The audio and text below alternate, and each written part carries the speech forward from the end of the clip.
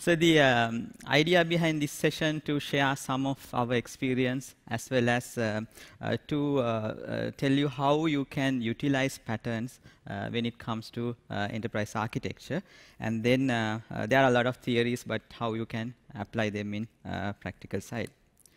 So most of you, you know what's a pattern, but it's basically a generic solution for a common recurring problem. So that's what we call it as a pattern. So if we take a real world example, this is a pattern, like how to cross the road.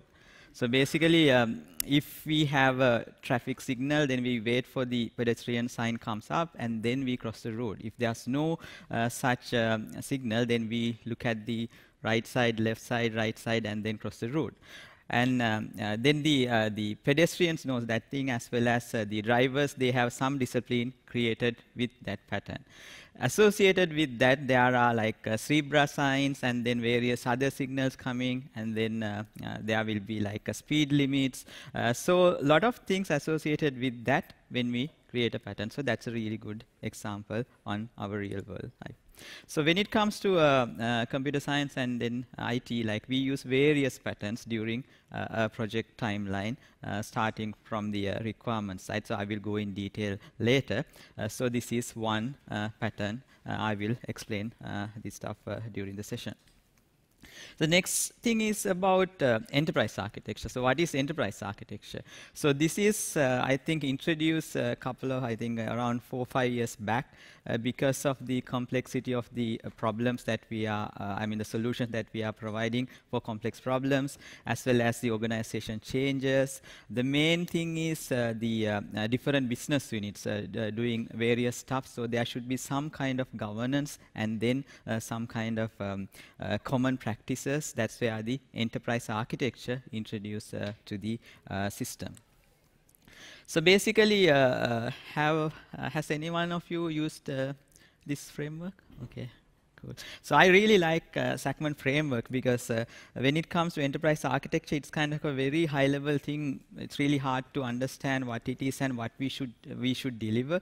So Zachman framework actually provide what are the processes required as well as what are the artifacts that we need in different levels of projects and then uh, to build a successful uh, enterprise architecture. So if you are kind of new or if you are uh, practicing and if you want to improve, uh, this is a really good framework to look at and then uh, get whatever relevant for you. I'm not, you, you don't need to take everything, but whatever relevant for you, uh, you can take it from uh, this framework.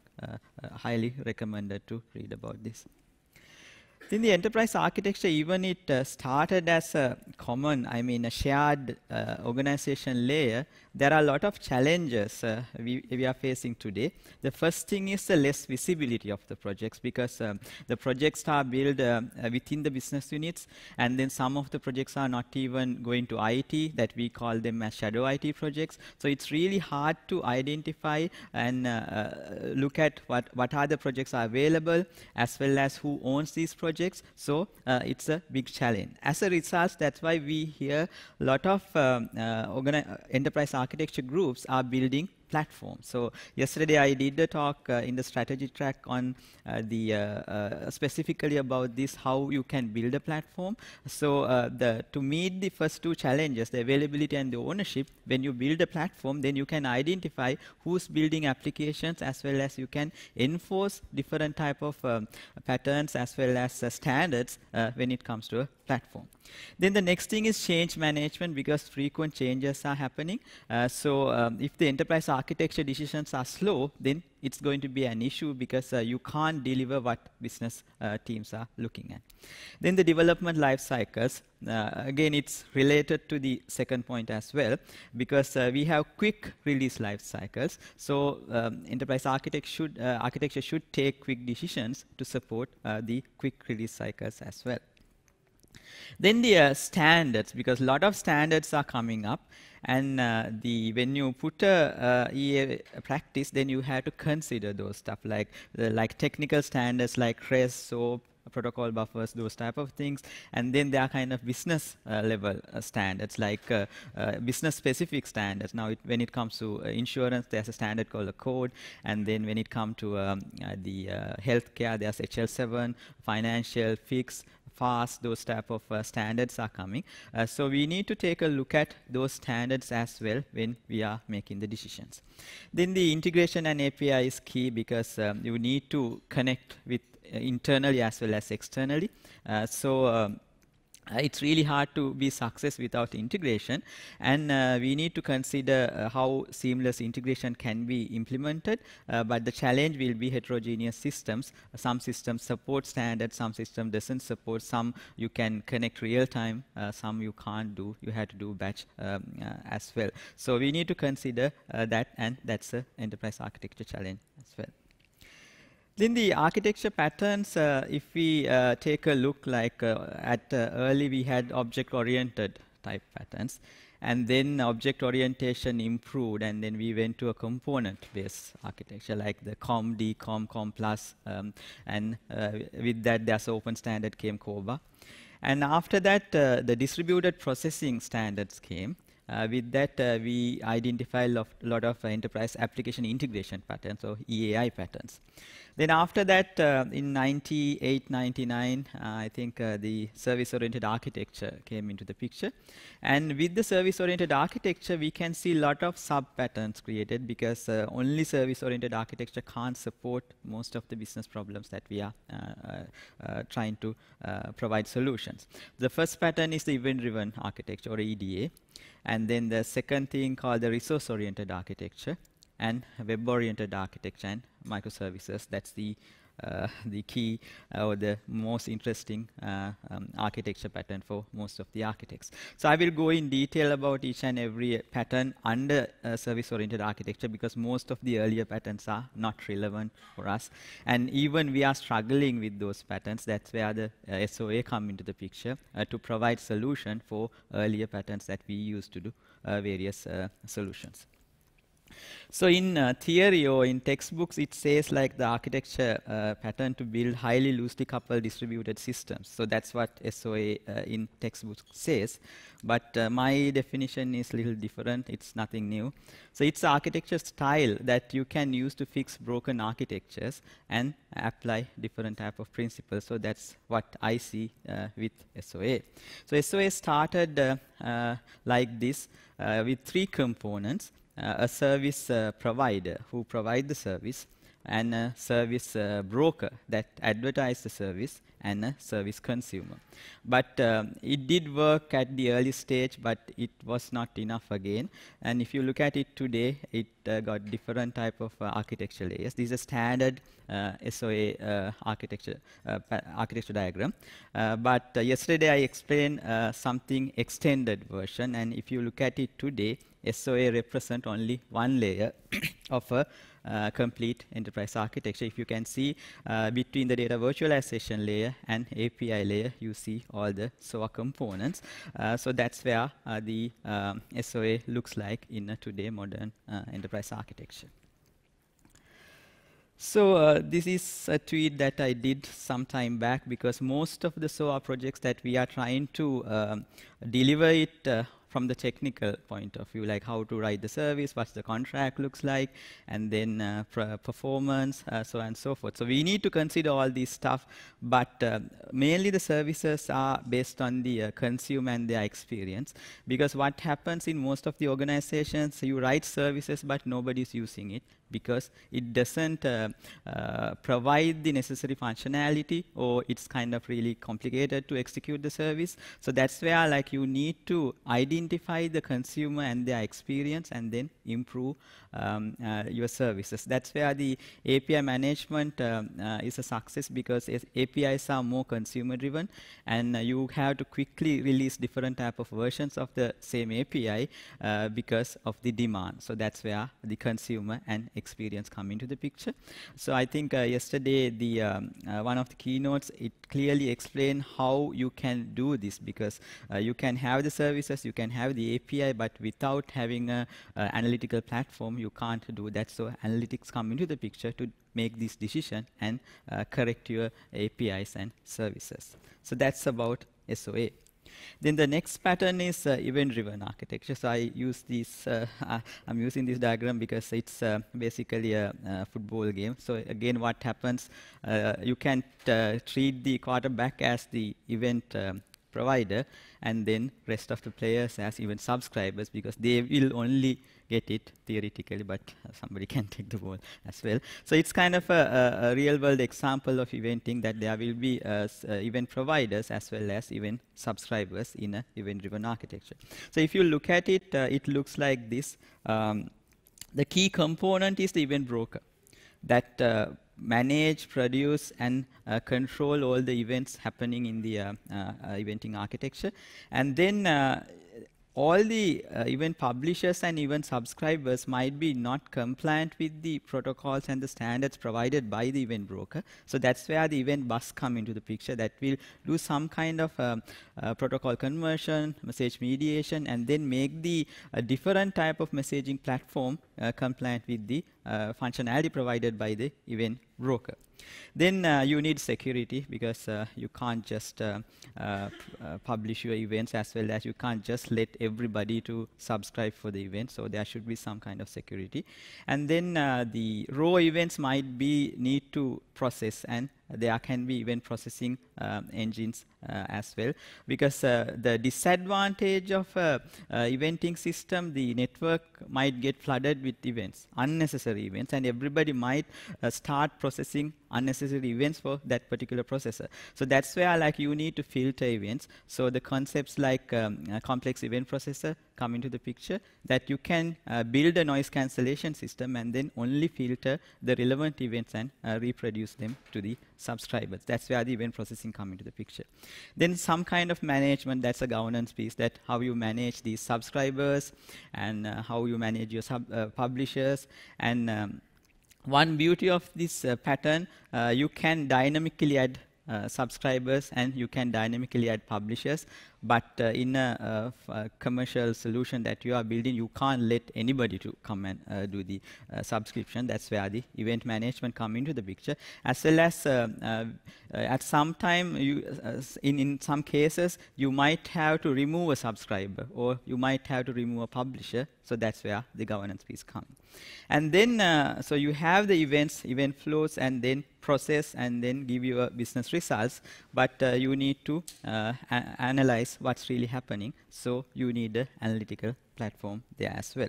So if we map this uh, reference architecture to um, WSO2 world, it looks like this. Uh, so event bus can be the enterprise service bus, and then we have a very um, uh, powerful and high performance uh, message broker that supports mul uh, multiple protocols like JMS, AMQP, MQTT, um, and even uh, you can feed uh, things like uh, Kafka into uh, the message broker. And then the security piece uh, will covered by the identity server and event processing uh, handled by the complex event processor uh, that now we call it as part of the data analytical server as well. And then the event management, all the queues and topics, those things managed by the governance registry and uh, the analytical piece will handled by the uh, data analytical server. So that's kind of uh, a product mapping to the standard uh, event-driven architecture. Then the next piece is resource-oriented architecture.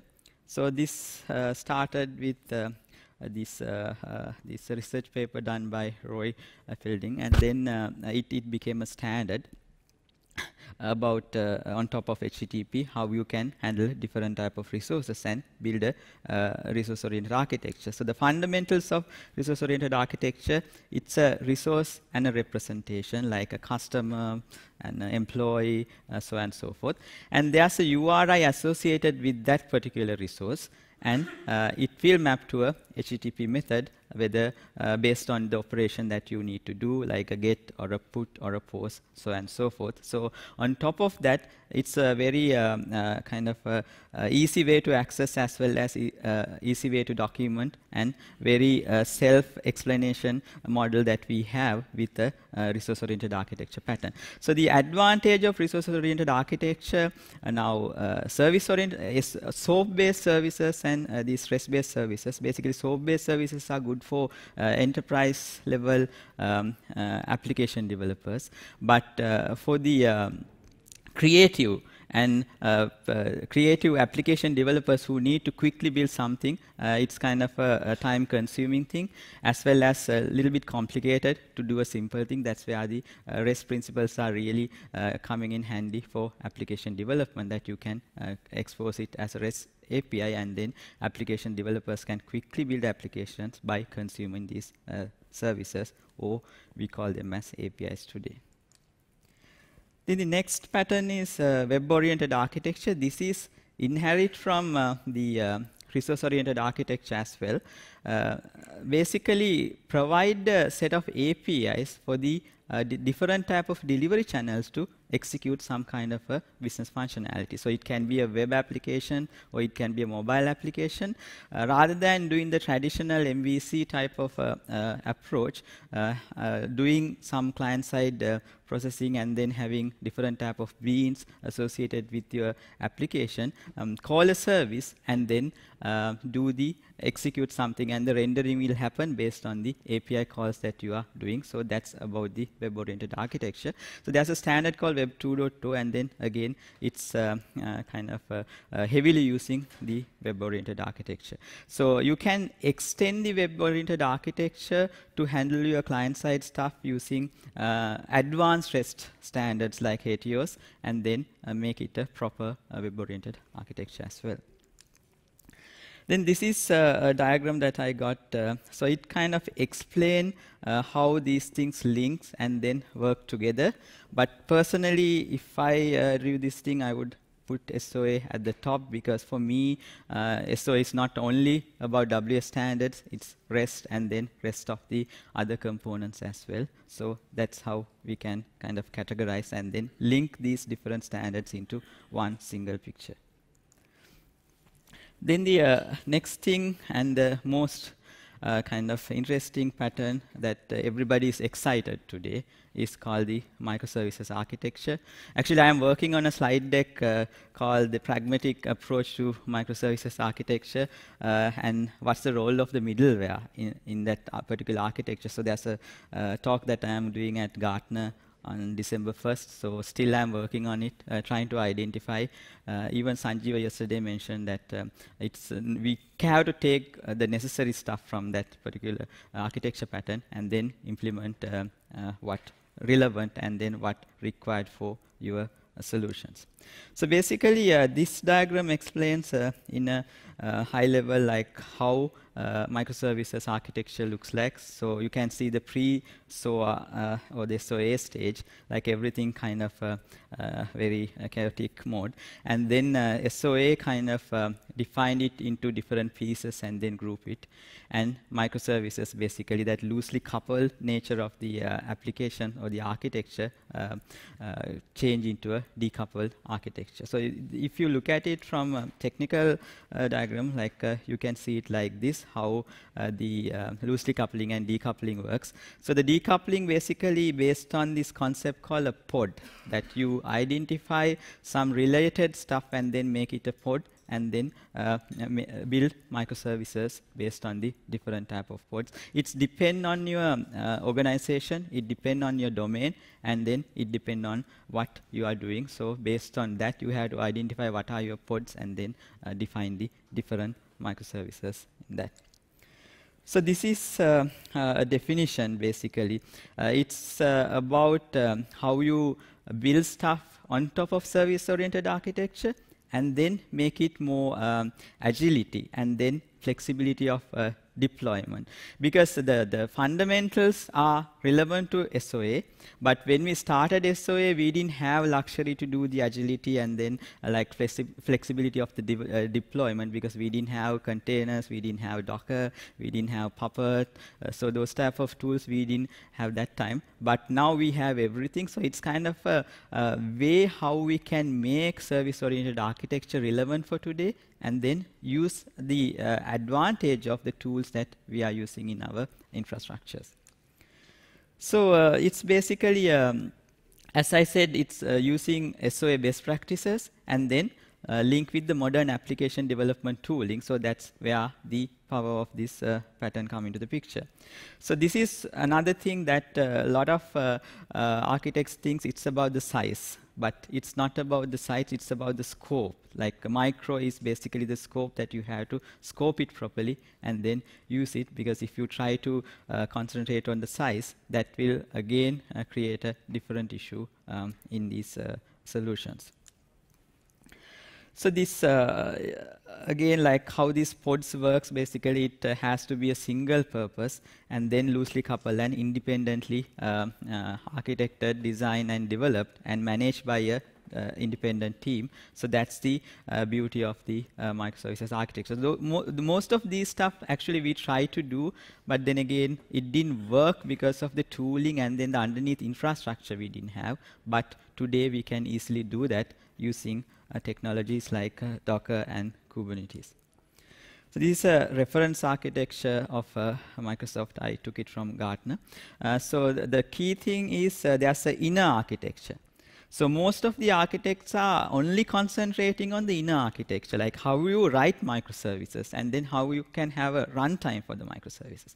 But there's outer architecture as well to enable the capabilities of the microservices. That's where the service routing, uh, a service gateway, uh, and there should be a proper message channel uh, to communicate uh, with each and every microservice. So uh, it, it's kind of not only the inner architecture that how you write microservices, it's about how you can have a complete ecosystem that support the entire um, functionality of this uh, nice architecture pattern. So if we uh, map the products uh, uh, in high level, like uh, you can find the new product that we release called Gateway can be used at the top and align with the API manager as the gateway layer and then the, uh, uh, the, the service discovery part can handle by the governance registry. And to write microservices, uh, we have a new runtime, very powerful and very lightweight um, high performance runtime uh, to write uh, RESTful services called microservices server. And then the messaging channel can be a message broker. Uh, some uh, architects position it's kind of an anti-ESB or anti-service uh, bus type of an architecture, but uh, if you look at the reality, you might need to use uh, ESB as well because uh, you are not entirely converting uh, system to microservices. You might have the existing services. Uh, so how we can leverage those stuff as well as uh, most of the systems are supporting open standards that you can communicate, but you might have some system doesn't support open standards. So uh, having a ESB will help uh, to connect with the old world and the new world as well. Then the data analytics server supports the analytical part and security identity server will cover it. Addition to that, you to use uh, some other technologies like Docker, Kubernetes, and uh, Puppet type of uh, uh DevOps and TechOps uh, tools. Then the uh, uh, so uh, then the in the journey of delivering or building an application, you will apply patterns at different stages. So the first stage is called the the requirement gathering stage. So there we apply different type of business patterns. So business patterns are relevant for that particular domain and the organization. So as a practice, what we recommend for the customers to do, identify the new requirements and then look at the current applications and the systems and identify the delta because uh, you don't need to build everything. Uh, you can reuse most of the stuff exists and you can identify, identify the delta as the uh, uh and then convert it to a architecture. So um, uh, some examples for business architecture patterns because most of you are not uh, familiar with these stuff I think so that's why I put some samples so these are it's totally depend on your domain as well as uh, your what you are trying to do as a business, you have to define these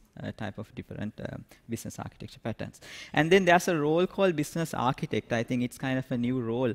Um, we had this uh, role called the business analyst. Uh, today, in the modern, uh, I think, uh, organization structures, we treat that as a business architect, not only a business person, some kind of um, technical knowledge they have as well, because the whatever the business architectures, architecture documents built by these business architect can directly used by a technical architect and convert to a, a, technical architecture. That's the idea of a business architect. Then the um, how you do it basically. So you do the first business architecture and then use the business architecture patterns. Then you define the solutions architecture that you use solutions architecture patterns. In um, uh, so we call solution we basically divide the solution solutions architecture into two levels. Well, first one called level zero, second one called level one. Level zero uh, uh, solutions architecture we don't put any vendor product or uh, product names. It's basically a component architecture diagram define each and every uh, component required to build that solution.